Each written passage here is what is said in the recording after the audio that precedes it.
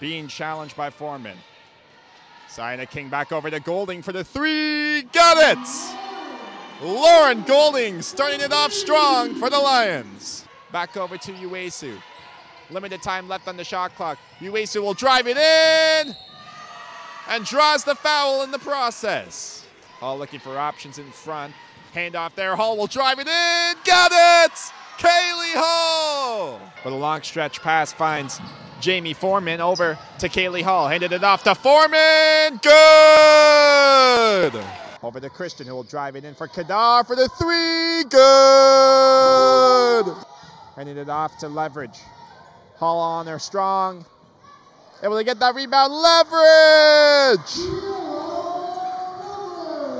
Kiara up to 12 points in this game so far. Fedek turned over there. Lauren Golding in transition over to Balan Kadar for the jumper. Secured! Unable to secure that one, but kept alive there by Masir. Down over the Fedek, and that one will not be denied. Some back and forth action here. The other way for Kadar. Good! Rakaya Green now the other way. Got it! Off the bench and onto the score sheet. Messier has it. Wolf drive it in off through Codrington. Eleanor Jones for the jumper. Got it!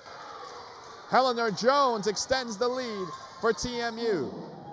Took an odd bounce, but nonetheless, it's York's ball. Leverage now will drive it in. Leverage! Got it!